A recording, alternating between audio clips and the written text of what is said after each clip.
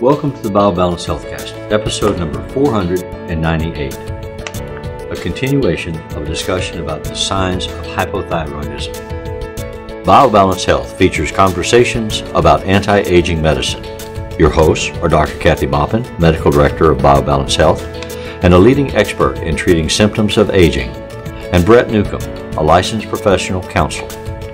Dr. Maupin and Brett are the authors of The Secret Female Hormone, the seminal work about testosterone replacement therapy for women, and Got Testosterone, the newly released book for men that helps men choose the most effective and safe form of T replacement. These books are available on Amazon or from Dr. Maupin's office at BioBalance Health in St. Louis and in Kansas City.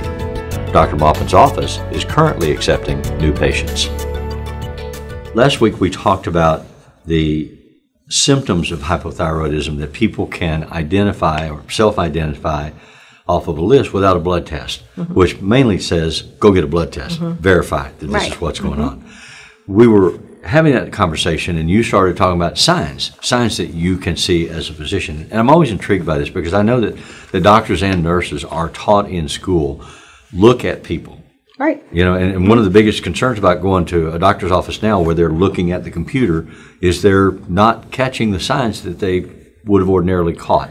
Right. Just from what they've learned. And my son is an emergency room nurse, and we'll go out to lunch or something, and he'll look over and he said, That guy's a walking heart attack, or that guy's got mm-hmm. this problem, or that guy's got that problem. And I'm like, How do you know? And so that he will tell me how he knows. Mm-hmm. So this is part of how you, as a physician, would suspect that I might have an issue with my thyroid. If, I look at you. If you look at me. Mm-hmm. If you attend to the patient. Or if you were on a phone consultation, I have to ask you these things. Do you have this? Do you so have can you that? see the same thing on a on like a FaceTime? I mean, a lot of people currently are using mm-hmm. uh, the internet for, mm-hmm. for visits with their mm-hmm. physician or consults with their right nurse. now because they're at home. Right.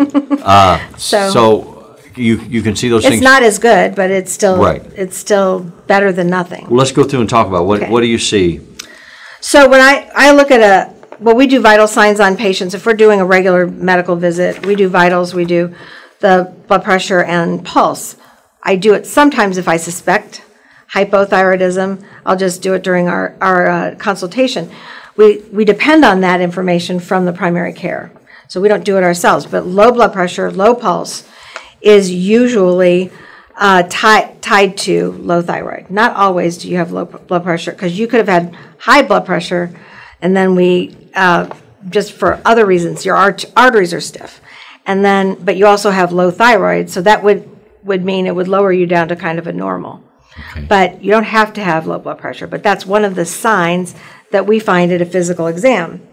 Basal body temperature is another thing. Mm-hmm. Basal body temperature is the temperature you take before you get out of bed in the morning. That's the one they, they have women take to see if they're ovulating. Right, because women are below are usually below 98.6, but they're above 98 first half of the cycle, and then they go up by 0.6 when they ovulate. So okay. so usually 98.6 by the time they've ovulated and then when they get to the time the day before their period, their temperature drops because progesterone also helps you make uh, okay. make heat. But basically, what happens with thyroid is you never get to 98, and you and usually people who aren't getting to 98 don't ovulate.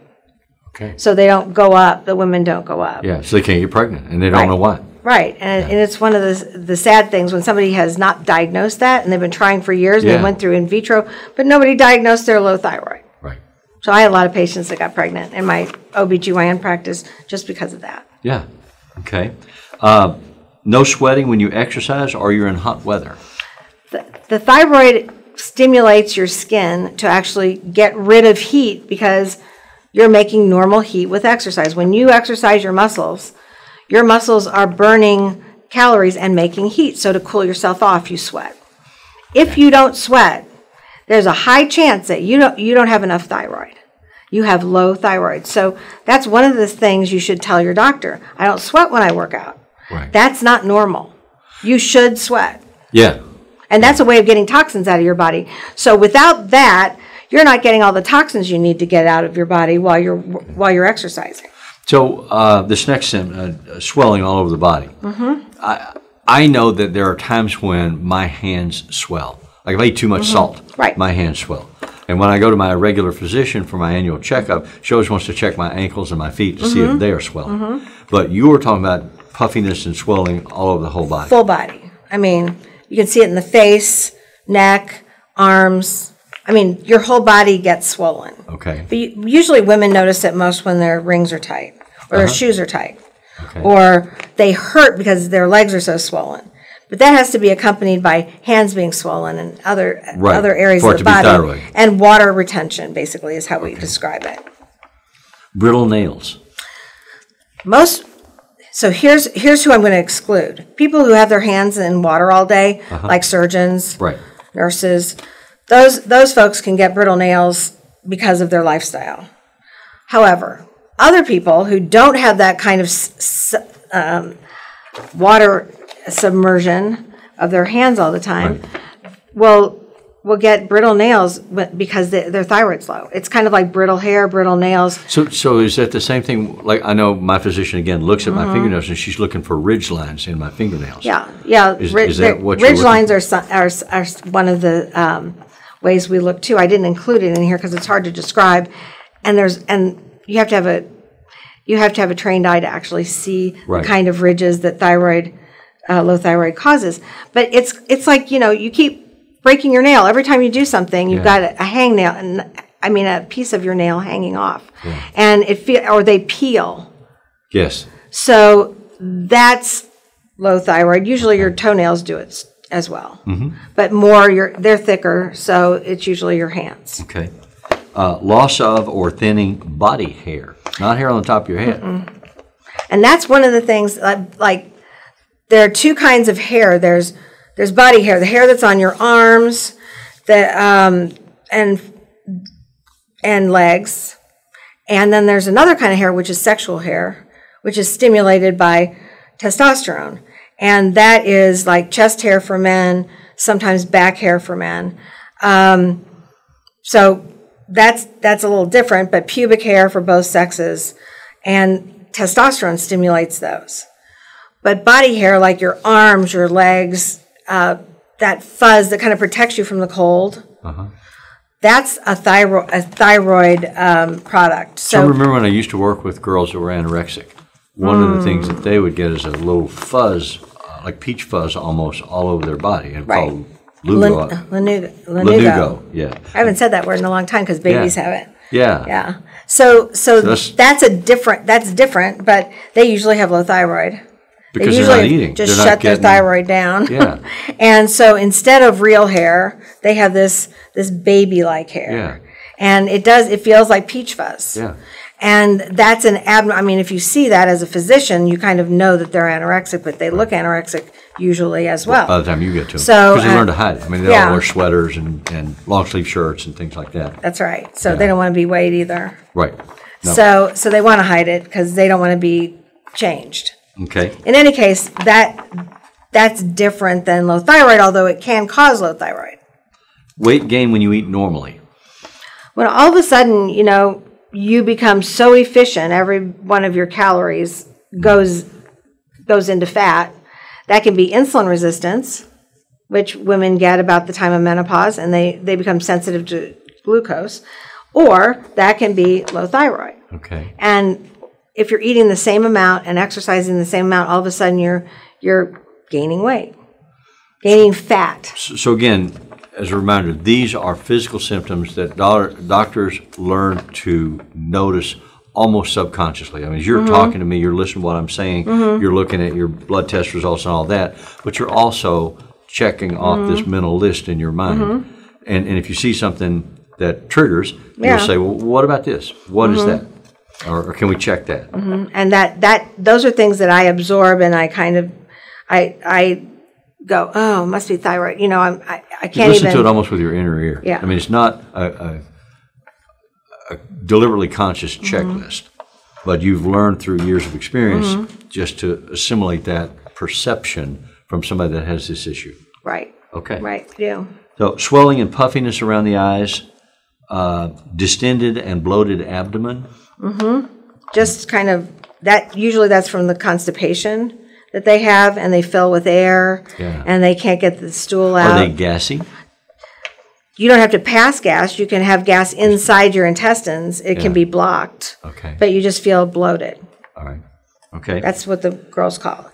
Goiter or swelling in the neck? We talked about We that talked- last week, a big, big collar of, uh, looks like fat, but it's your thyroid gland that's big. And extremely dry skin that looks like cobblestone or scales, uh, itchy all the Mm-hmm. Yeah, itchy all the time, and you can kind of see that on somebody, especially lower arms and hands. So I, I always like this one because it's the one that you noticed about I- me yeah. the first time that you talked to me. Yeah. The loss of lateral eyebrows, the, the outer third. Yeah, and you're of- growing them now. Yeah, Now that you're on thyroid, so, so from the, the center eyebrow continues, but the la, the outside eyebrow Uh-huh. goes away, and that's low thyroid. I mean, there's nothing else that causes that. yeah. So when you see some. I see somebody on television, Yeah. and they've got like half an eyebrow. I'm like, "Eh," you know, and I look for the other signs. Yeah. yeah, that's kind of the first thing I look at. So that's one of those things that I, my husband won't let me go over to the table next to us to tell somebody they've got. Yeah, yeah. Probably Dining. not a good opener. By the way, take your wife to the. Yeah. Uh, heart arrhythmias and palpitations.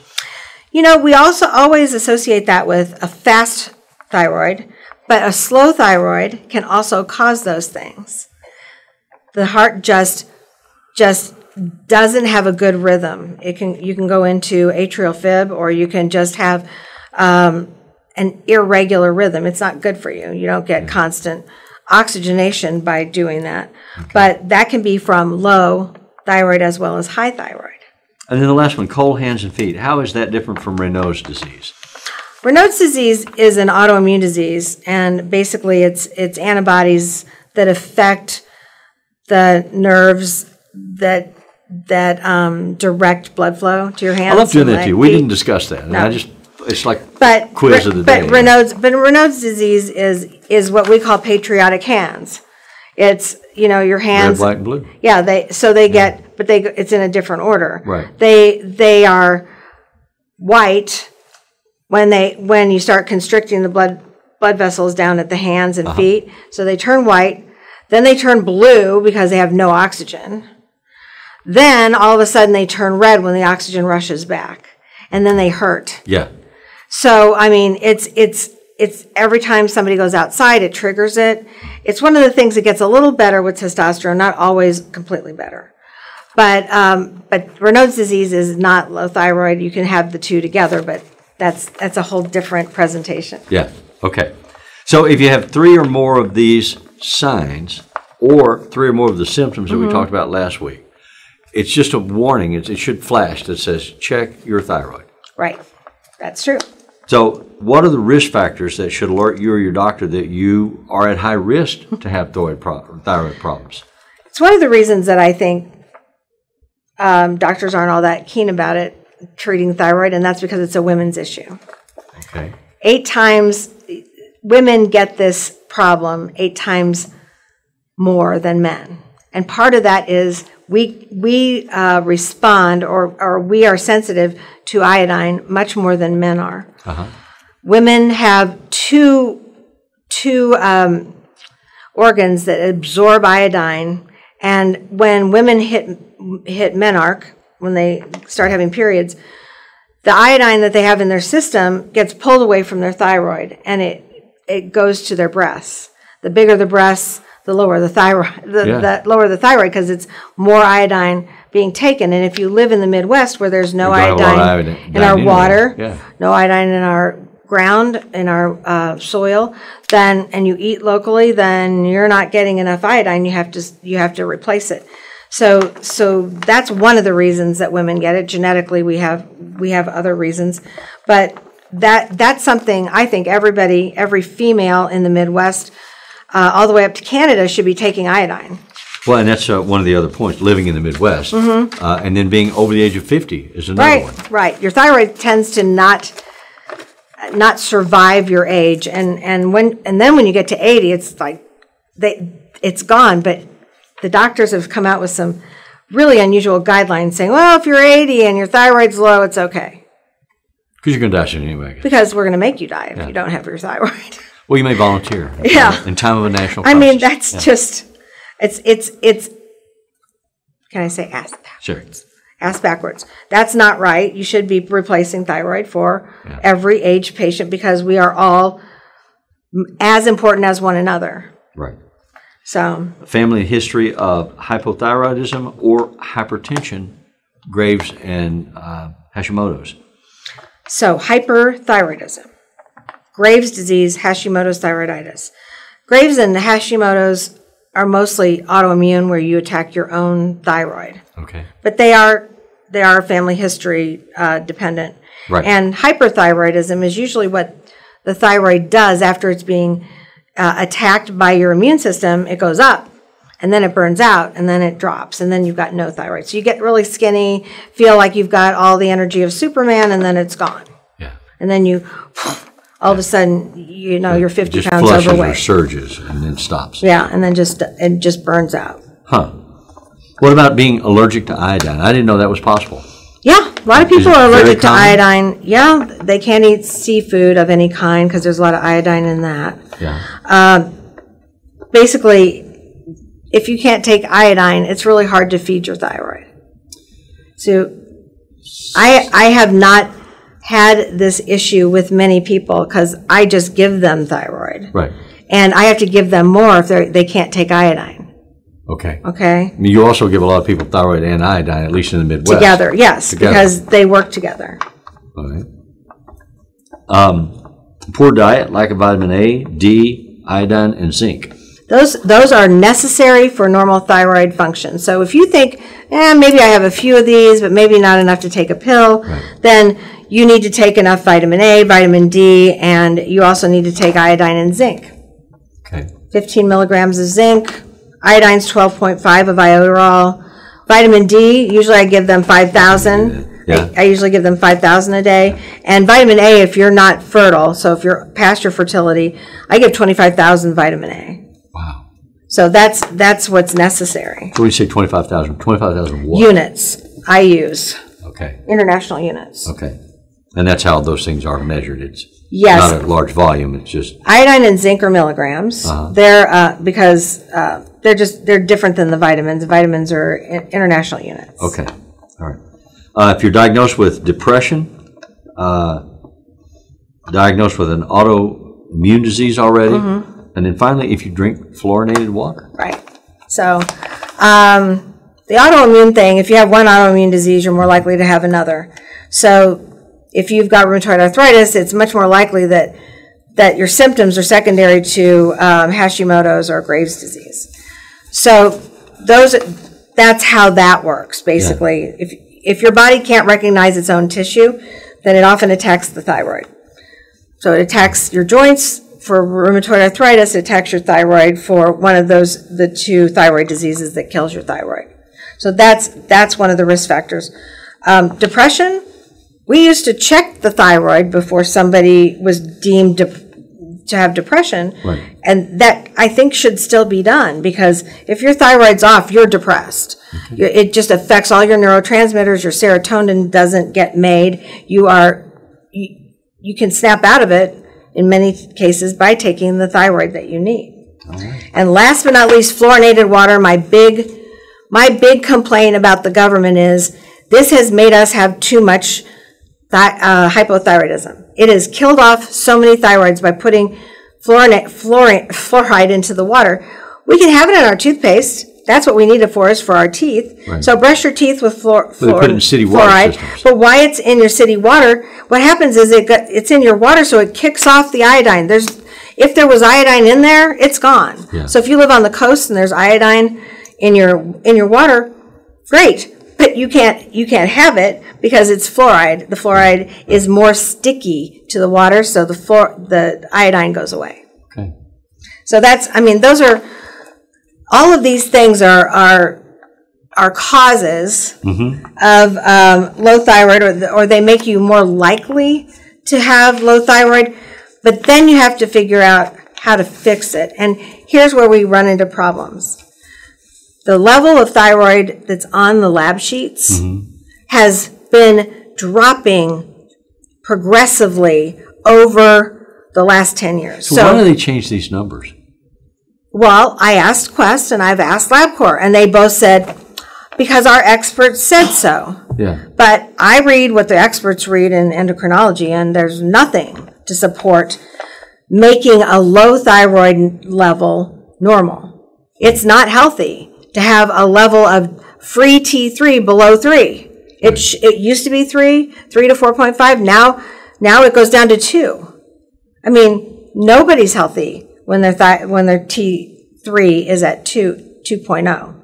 So, why they're doing this, I don't know. It's another women's disease where we say treat it with as little as possible, which I think is baloney. I think that just makes the doctor's life easier so people don't call up and go, oh, my heart's racing. Well, they could have given them magnesium in the beginning, and that would make it easier because Right. they won't get those calls. But, They but have to learn that. Somebody has to teach them. yeah, somebody has to has to. Yes, I, but I, you know, I kind of always did thyroid because I had it. So even in my GYN practice, uh, starting in 1985, I was giving people thyroid and iodine, and and uh, because I understood it, and because I had the disease myself. So, and I've been watching these numbers, which most doctors wouldn't watch. They just go, eh, it's not normal, or it is normal. Well, you're it- okay. It plays in tandem with your focus on hormone replacement, hormone therapy. You have to know about all of the hormones and how they work.